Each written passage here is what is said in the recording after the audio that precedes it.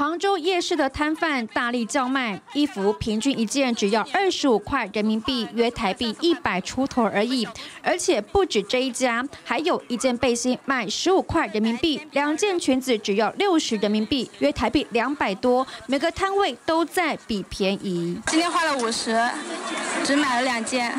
嗯，平时少喝两杯奶茶就可以买两件衣服，性价比很高。不止穿的打价格战，喝的瓶装水也在降价大促销，一瓶矿泉水竟低于一块人民币，毛利率低到见骨。因为中国大陆经济下滑，内需持续不振。上半年国内生产总值是六十一万六千八百三十六亿元，按不变价格计算，同比增长百分之五点零。我国经济运行总体平稳。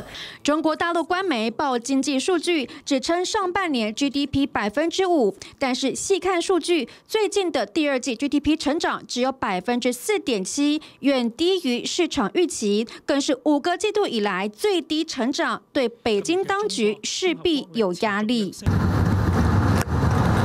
北京的街上停满公安车辆，警察密集站岗，维安程度再拉高层级。因为从十五日起到十八日召开三中全会，是中共中央委员会第三次全体会议，历届重心放在经济重大决策。外媒彭博社分析，中国大陆第二季经济成长走弱，三中全会上可能升高习近平要提高信心的压力。特别新闻综合报道。